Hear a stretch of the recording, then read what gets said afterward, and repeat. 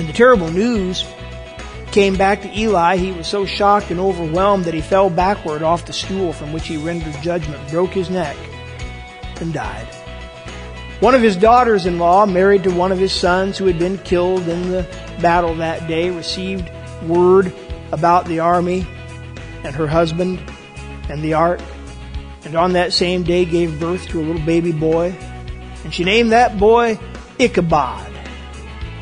And in the Hebrew of the Old Testament, Ichabod means the glory is gone. That's a heartwarming little story, huh?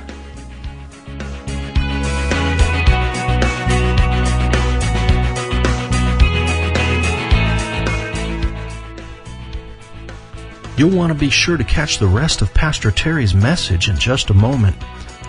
But first, we want to thank you for tuning in to the Indian Run Christian Church broadcast with pastor and author Terry Bailey. This broadcast is also produced as a free podcast, which you can find on iTunes or become a subscriber through our website. We'll have more information at the end of the broadcast, but for right now, let's join Pastor Terry as he preaches this insightful message.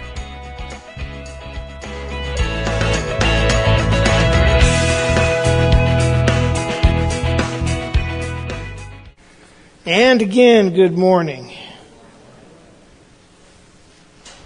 We pray for each other as a matter of course. And it isn't usually extremely complicated, this business of praying for people. We, we're easily able to figure out what it is that we should pray. If one of us is sick, we pray to God that that one will get well get better. If one of us is experiencing financial difficulty, we pray to God that that one will get some prosperity, some relief. If one of us is down and just blue and depressed, we pray for happiness and joy to descend upon that one. If one of us is embroiled in a bitter controversy of any sort, then we pray for peace to descend upon that situation. So as I say, it isn't all that complicated, but let me give you an interesting question somewhat along the lines of, of what I asked the kids. What if you could write out a prayer? Write it out in detail, just the way you wanted it, and we would make copies and hand it out to everyone so that everybody else in the congregation prayed for you the prayer that you wrote for yourself. What would that prayer look like? What would you write that you would want everyone else to pray for you? Would you have everyone pray that you become fabulously wealthy? Would you have everyone pray that your kids stay out of trouble? Would you have everyone pray that you stayed out of trouble? Maybe, long as you're writing this prayer, no reason why you couldn't have maybe a dozen bullet points that you had everyone pray for you. Maybe you would just go with the four that uh, Benjamin Franklin was so fond of and pray that you would be healthy, wealthy, happy, and wise. Or maybe you could go more along the lines of uh, what Francis of Assisi always asked and have everyone pray that God would grant you patience, humility, and righteousness. For me, I would just say, don't pray that God teaches me patience and humility because I have read the book of Job and I know how that works. But whatever it might be, you get to write the prayer that everyone else will pray on your behalf. What will it be? I asked the question because as it turns out, this is exactly what David did in the Psalm that we've read this morning. First half of Psalm 20, and for those who are both attentive and curious, I already know that I left off Psalm 19. We went straight from Psalm 18 to Psalm 20. Uh, I already have a sermon on Psalm 19. I preached that in August of 2010. And if I am ever going to fulfill my goal of having a sermon on all 150 Psalms, we can't have repeats in this. So, Psalm 19, you can go back and look at that on your own. Uh, but the first part of Psalm 20 is a prayer that David wrote for all the people of the nation to pray for him, to approach God for him with these points. The rabbis record that the prayer was used as part of the ceremony on the day that David had the Ark of the Covenant brought back to the city of Jerusalem.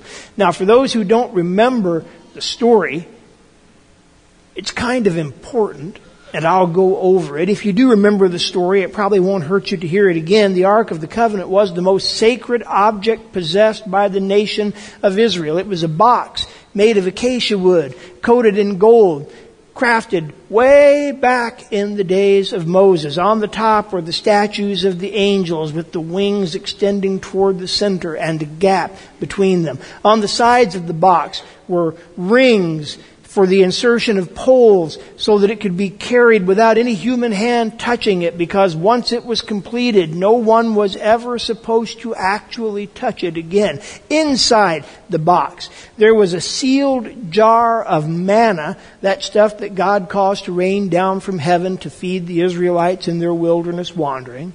Along with the manna, there were the broken pieces of the stone tablets on which God had with his own hand carved the original Ten Commandments, and at least a piece of Aaron's rod that bloomed. These things were inside the Ark of the Covenant.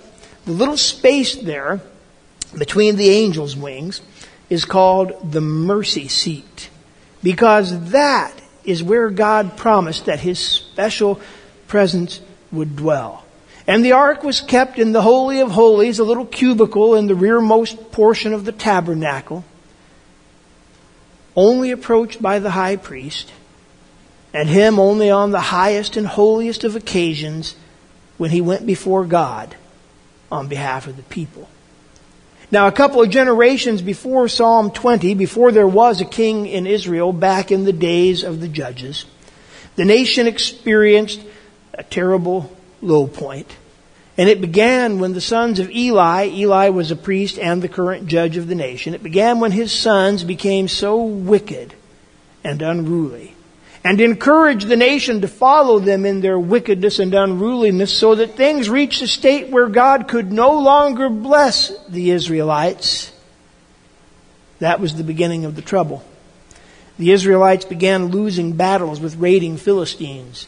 And the Philistines, sensing a turn in their fortunes, staged more frequent and larger raids since they had begun to win. And things were going badly, and the sons of Eli decided desperate times called for desperate measures, and they went and they got the ark out of the Holy of Holies, and they had it carried at the head of the army for their next encounter with the Philistines because they knew this. Never in the history of Israel had they lost a battle when the ark was at the head of the army. But you have to see this for what it is.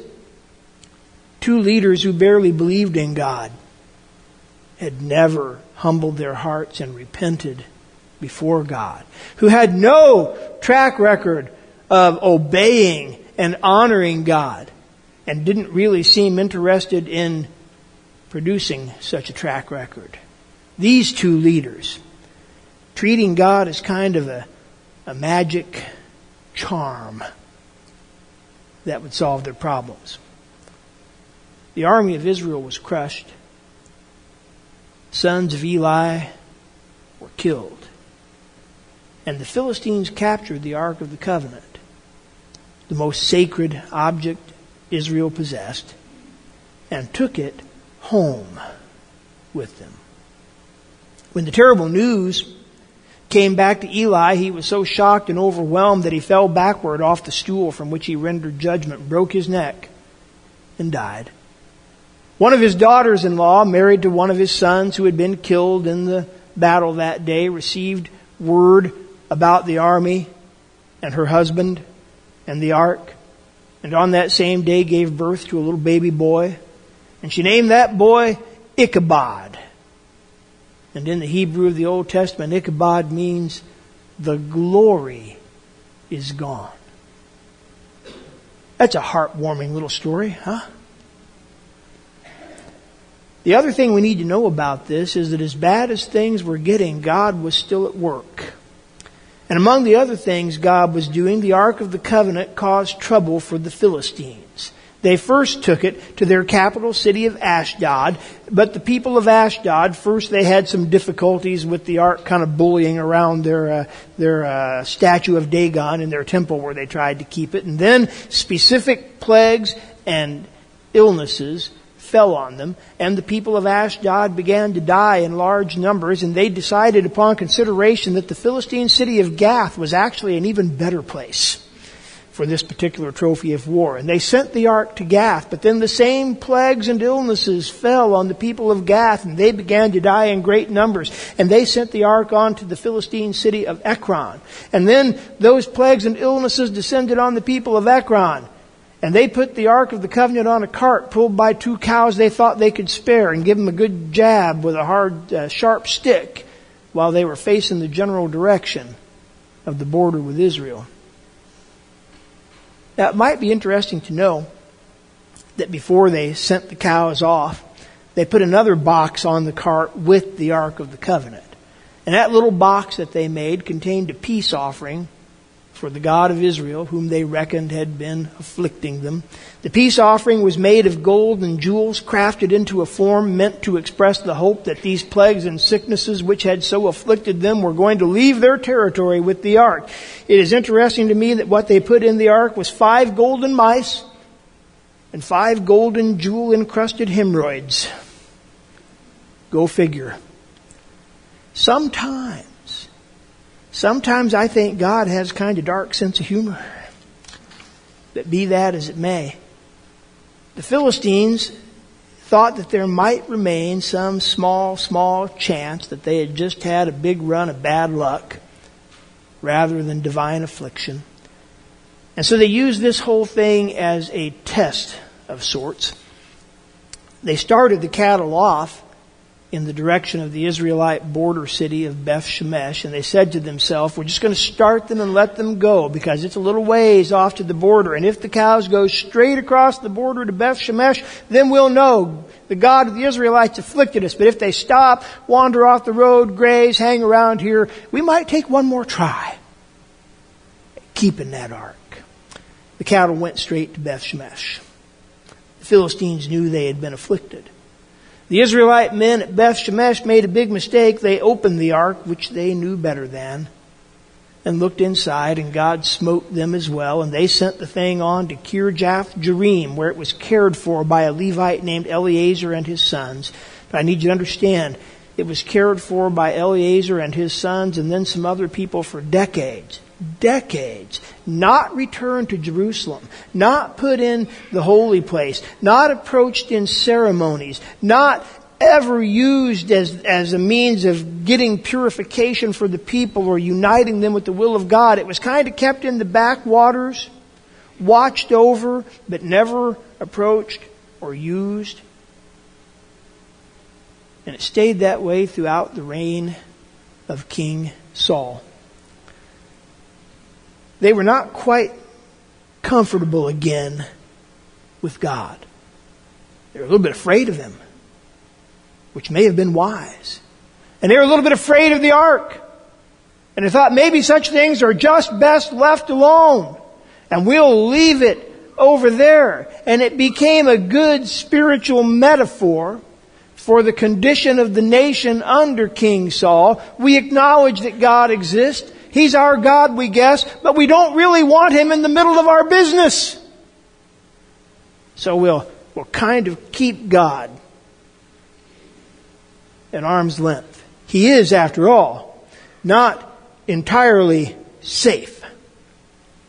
But when David became king, he was determined that the ark should be returned to Jerusalem because he meant for the nation to desire that God be right there in the midst of them, involved in everything that was important to them. He was pledging when he brought the ark back and when he built the temple to house it. He was pledging to be a different kind of king than Saul had been and pledging that the nation would be a different kind of nation than when it had lived under Saul. No more holding God off at arm's length. We want God right here in the midst of everything important that we do, in a national center of worship established in our capital city. That's where we want God visible, prominent in the center. So on this big day, and it was a big day, a big deal, David had this prayer that he wrote. And as part of all the ceremonies that ensued, he had leaders, people all gathered together, and the people would listen as the leaders spoke David's prayer line by line. They would repeat it back line by line. The leaders, then the people, the leaders, then the people, until the whole prayer had been said. And the prayer consisted of five bullet points that all the people of Israel prayed for David on this day. They were, God, please hear our king when he calls on you in the day of trouble. God, defend our King. God, send out your power from this new national center of worship we have established to strengthen our King. God, remember all the offerings and the sacrifices our King makes to you. And finally, God, give our King the desires of his heart and bring all his plans to fruition. The bullet points were followed by proclamations like, Do these things, Lord, and we will joyously wave the flags and banners of our nation in your name. We know, we know that you already are with our King because of the things you have done to this point, and we trust you, God, more than we trust military might, chariots, and horses. And then the final plea, God save the King. Well, as long as you get to write the prayer yourself, right? You know, I, I noticed the prayer that David wrote for the people to say for him did not include a clause like, and God smite our king if ever he should stray from you. You know, God hedge him in with thorns and spears if he tries to step out of the way. Nothing like that. But I tell you, I think honestly at this point in the game, David never seriously thought such a contingency could arise. In those moments when our love for God and our faith in God reaches the heights and we stand in the clear sunshine of His majesty on top of the mountain, we are not prone to picture the descent into the valley of shadow. And then I'll tell you this God would later administer discipline to David, whether anybody prayed for him to do it or not. But what do we think of David's prayer, especially these, these five bullet points? And let me skip right on over what we might think of that prayer for David in his time and in his context, and get right to what we might think of this prayer if it were be, to be applied in our time, in our context, to our leaders? That's, that's the question that's interesting to me. God, hear our leader or leaders when they call on you in the day of trouble. Well, okay. I think even though we live in a republic rather than a monarchy, probably all of us in this room are okay with that. If the day of trouble comes and our leaders call on God, we would probably want God to hear that prayer. Agreed? Oh, everybody's okay with that. God, defend our leader or leaders? Yes? No?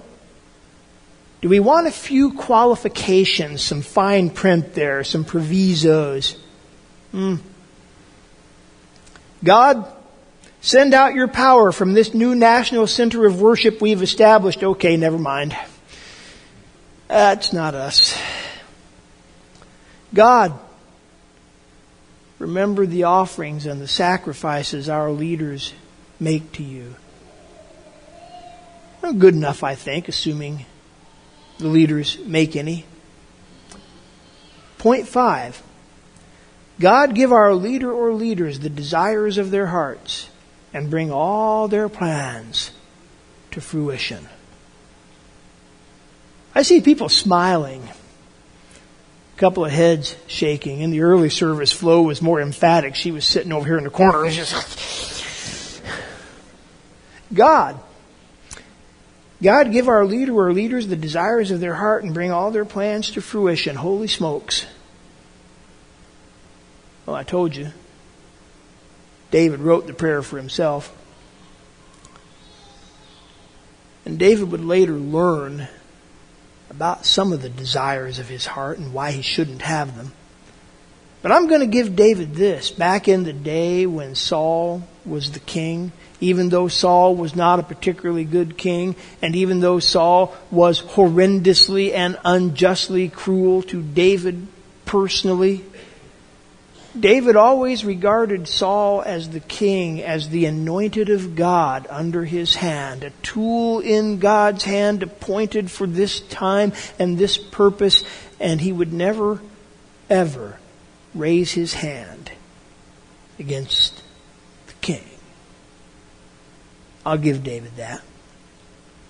And when later the Israelites went into captivity in Babylon, it's easy to figure out Daniel sincerely lifted up pagan idol worshiping kings before God, prayed for their health, prayed for their long life, prayed for the extension of their rule. Well, Daniel knew that the whole reason they got shipped off to the captivity in Babylon was because the nation had again followed the path of the sons of Eli and they deserved it. They could no longer be blessed. And so these pagan, idol worshiping kings were the tools of God's discipline being exercised upon them, and to that extent advancing the plans of the pagan kings was the same thing as advancing the plans of God.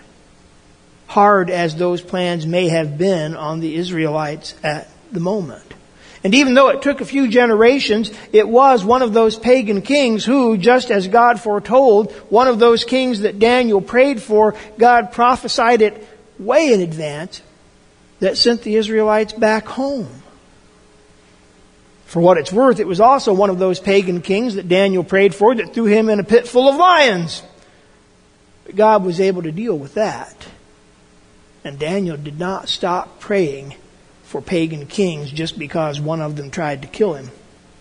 And when Paul would later say that kings, emperors, and secular authorities were appointed by God for the purposes of God, Paul did not mean Christian kings, Christian emperors, or Christian secular authorities. There weren't any yet. Paul was talking about pagan Roman authorities when he said all those things. And when in his letters to Timothy he urged all believers to pray for kings and those in authority, he was still talking about those same pagan Romans, even though by this time those leaders were fomenting persecution against the Christians specifically. Paul kind of reckoned that even the persecutions they launched would end up advancing the plans of God. And as it turns out, Paul was right. And we could continue in this vein. Peter agrees with Paul, and there are other examples in both Testaments. What I'm describing for you is a fairly comprehensive, consistent biblical emphasis on the plans of God as they relate to the plans of secular rulers. And the attitude that believers should take toward those rulers and their plans. And in light of that, David may have had something going in that prayer of his, even in bullet point number five. Many of us were deeply concerned about the just past national election. Yes? Okay. Many of us were deeply, deeply concerned about it. And maybe some of you were concerned in the way that I was concerned, said, here's choice A and here's choice B. Okay, where's the good choice? Maybe some of you were concerned in that sense. Maybe some of you were genuinely excited about the candidate who lost or the candidate who won the office of President of the United States. I don't know and I don't criticize you one way or the other. I will tell you this for myself. There is a vast ideological, philosophical, economic, and religious gulf between myself and the man who won. But he won. And he is my president. And there was a fair sized gulf between me and the guy who lost, too. And it may well be as many pundits are claiming now that our nation is changing in such a way that there is going to be an increasing gulf between me and almost everybody. That may be.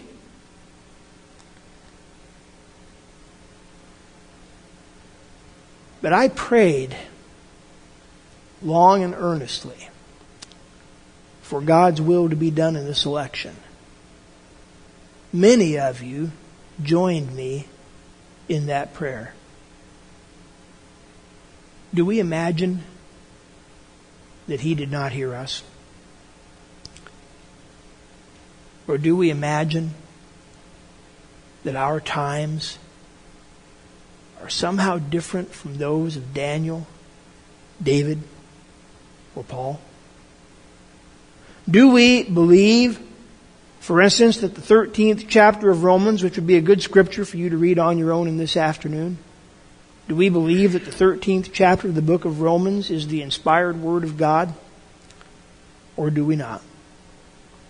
Our situation is on, on some levels complicated by the fact that we elected a president and a legislature and indirectly a judiciary, which in theory are co-equal, and among that largish government, there is a pretty fair assortment of plans of the mind and desires of the heart. It's complicated. But I tell you what, it's not so complicated as to confuse the mind of God, or so powerful as to thwart his purposes. The frequently less than morally admirable plans and actions of the pagan Babylonians and Romans did not confuse or thwart God. The mistakes that David would make did not confuse, surprise, or thwart God either. The plans and mistakes that our leaders make will prove no different. They may be, in the short term, inconvenient for us, a little, or maybe a lot, but they will constitute no barrier to the plans of God. I guess I would say no one has ever occupied the White House that God did not foresee. And whether it is a blessing or discipline at the moment, and in the end, we will not be able to draw a distinction between those two propositions. Kings and national leaders advance the plans of God, who is, after all, still on the throne. I do not say that any of us of any political conviction or stripe should naively trust our leaders or that we should ever agree with non-biblical, absolutely wrong things or that we should fail to pursue change by the legal means allowed us. I don't say any of those things. I say only that we should recognize our leaders for what they always are tools in the hands of the Lord who will accomplish his purposes. And I say, fear not. We will yet wave the banners with joy and sing the victory hymn of the King of Kings.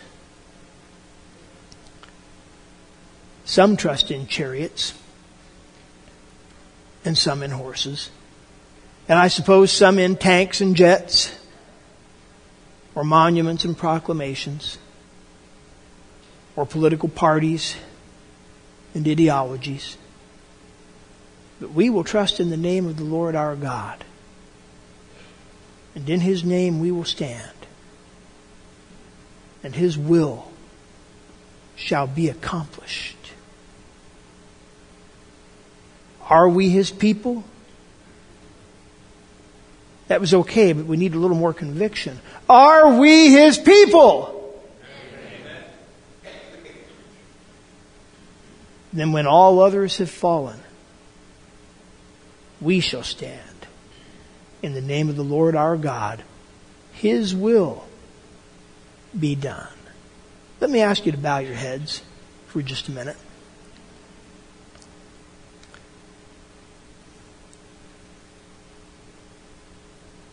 Father God, we do lift ourselves before you this day. And we do pray that you will be with our leaders. We pray that you will guide them. We pray that you will use them. We pray that you will protect them from the temptations that arise from the enemy of our souls.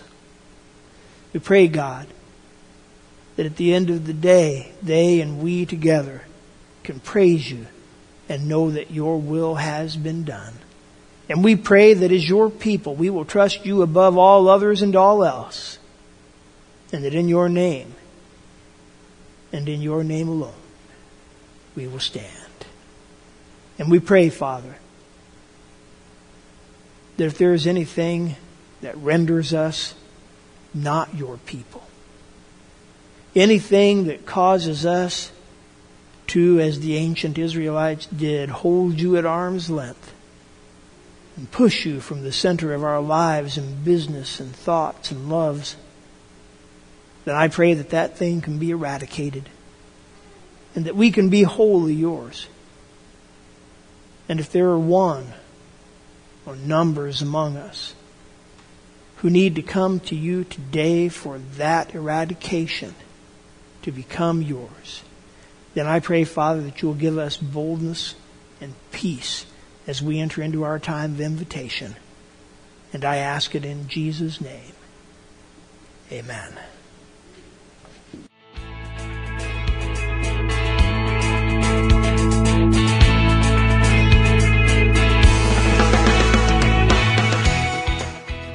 We want to take a moment to thank all of you, our listeners, for setting aside time each week for the Indian Run Christian Church broadcast on this station.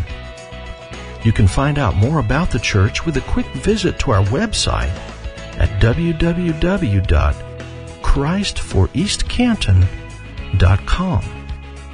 On behalf of Pastor Terry and all the folks at Indian Run Christian Church, I pray God's blessing on you and your family